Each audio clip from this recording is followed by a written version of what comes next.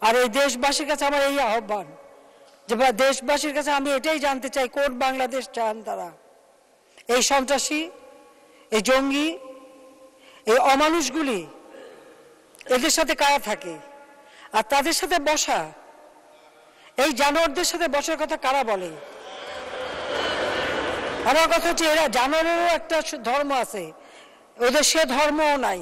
দিন রাত পরিশ্রম করে মাত্র চোদ্দ বছরের মধ্যে যে বাংলাদেশ আমরা উন্নত করেছি, আজকে বাংলাদেশ বলেছিলাম যে দিন বদলের সনদ, ঠিকই বাংলাদেশ পাল্টে আজকে উন্নয়নশীল দেশে মর্যাদা পেয়েছে এবং বাংলাদেশ এগিয়ে যাচ্ছে। আর তখন এই ধরনের ধ্বংসযজ্ঞ। মানুষ স্পিকার, আর বক্তব্য দেওয়ার আমার মানসিকতা নেই, কারণ এই রকম দৃশ্য, যারা জজের বাড়িতে আক্রমণ করে এটা ওদের অভ্যাস। এর আগে চিফ জাস্টিসের দরজায় লাথিও মেরেছে বিএনপি নেতারা। পুলিশের উপর এরকম হামলা, অ্যাম্বুলেন্সে রুগী যাচ্ছে, সেই অ্যাম্বুলেন্সে আক্রমণ, আর কি বিভৎস দৃশ্য। পুড়িয়ে মানুষ হত্যা শুধু না, মনে হচ্ছে গোটা দেশটাকে এরা ধ্বংস করবে। মাননীয় স্পিকার, আপনার মাধ্যমে আমি শুধু আমাদের মাননীয় সংসদ সদস্যরা আজকে সবাই যার যার জায়গায় যাবেন। আর এই দেশবাসীর কাছে আমার এই আহ্বান যে দেশবাসীর কাছে আমি এটাই জানতে চাই, কোন বাংলাদেশ চান তারা? এই সন্ত্রাসী, এই জঙ্গি এই অমানুষগুলি এদের সাথে কারা থাকে? আর তাদের সাথে বসা? এই জানোয়ারদের সাথে বসার কথা কারা বলে? আমার কথা হচ্ছে এরা জানোয়ারেরও একটা ধর্ম আছে। ওদের সে ধর্মও নাই। ওদের সে ধর্মও নাই মাননীয় স্পিকার। ওদের মধ্যে কোনো মনুষ্যত্ব বোধ নাই। ওরা চুরি, লণ্ঠন, দুর্নীতি, দুর- দুর্বৃত্তায়ন ছাড়া কিছুই জানে না। ওদের নেতা থেকে শুরু করে সবই তো এবং সৃষ্টি সৃষ্টি যে করেছে। সে জিয়া রহমান তো আমার বাবা, মা, ভাই, বোন সব হত্যার সঙ্গেই তো জড়িত। আর খালেদা জিয়া, তারেক যেহেতু আমাকেই বারবার হত্যার চেষ্টা করেছে। আর আওয়ামী লীগের হাজার হাজার, একুশ হাজার নেতাকর্মী হত্যা করেছে। আর তারপরে সাধারণ জনগণ, আজকে কোন অবস্থায় তারা দেশকে নিতে চায়? নির্বাচন হয়েছিল দীর্ঘ এই দু হাজার নয় সাল থেকে এই পর্যন্ত ধারাবাহিক গণতান্ত্রিক বিধি ব্যবস্থা ছিল বলে আজকে দেশ এগিয়ে গেছে। আর সেটাকেই ধ্বংস করতে, করার জন্য উঠে পড়ে লেগে গেছে।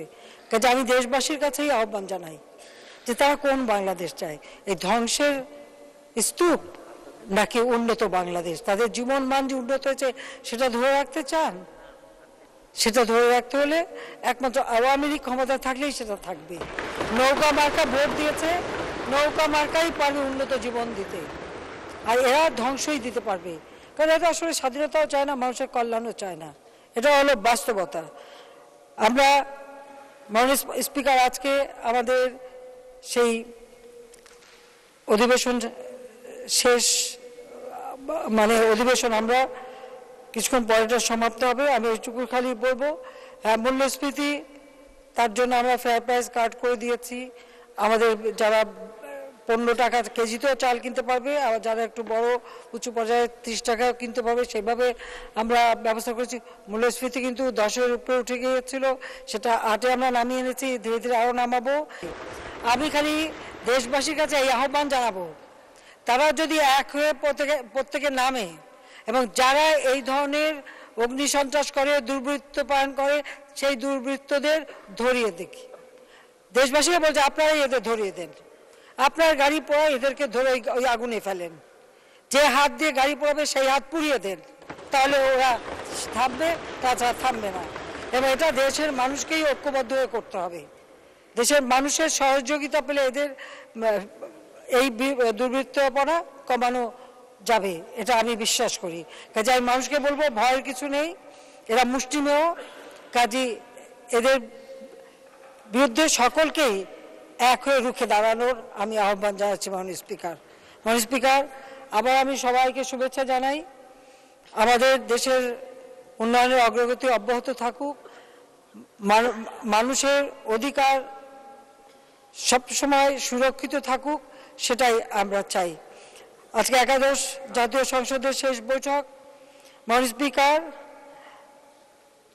দু হাজার উনিশ সালের তিরিশে জানুয়ারি শুরু হয়েছিল। আজকে তার শেষ দিন। আমরা এই পার্লামেন্টে কাজ করেছি, এখানে আমাদের সাথে যারা কাজ করেছেন, বিশেষ করে আমরা যে এতগুলি বিল পাশ করলাম আর এবং এই অধিবেশনে একশো পঁয়ষট্টিটা আইন তো পাশ হয়েছে, কেবল এই অধিবেশনেই পঁচিশটা মানে বিল আমরা পাশ করেছি।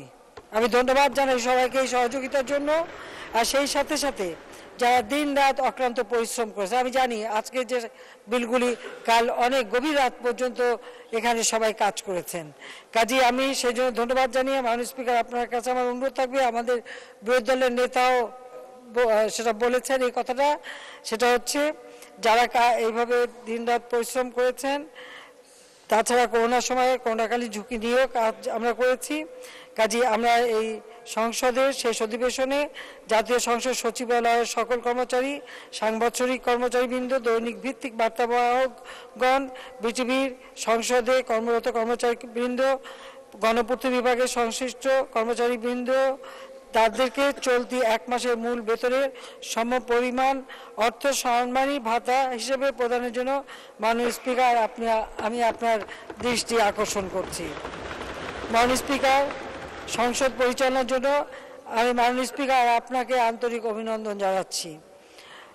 আমি ধন্যবাদ জানাই মাননীয় ডেপুটি স্পিকার, মাননীয় সংসদ উপনেতা, মন্ত্রিসভার মাননীয় সদস্যবৃন্দ, মাননীয় চিফ হুইপ, হুইপবৃন্দ, সকল মাননীয় সংসদ সদস্যকে।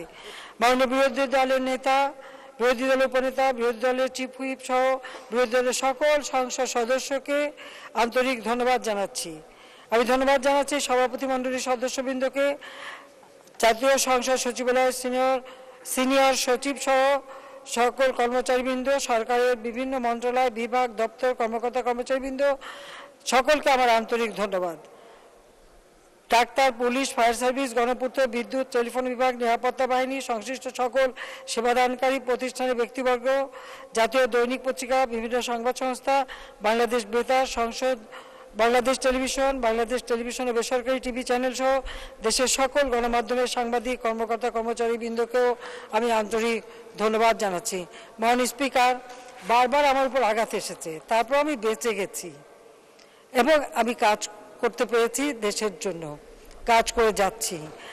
যদি আমার এখনও এখনও বারবার আমার উপর হামলা হচ্ছে, এমনকি দেশে না বিদেশেও প্রচেষ্টা চালানো হয়েছে। আমি বিস্তারিত বলব না, শুধু এইটুকুই জানিয়ে রাখলাম যে যখন আমি বিদেশে যাই, সেখানেও কিলার হায়ার করে আমাকে মারার চেষ্টা, সে চেষ্টাও করেছে। ওই খালেদা জিয়ার ছেলে যেটা লন্ডনে বসে আছে সহ তাদের যারা এই সন্ত্রাসী তারাই।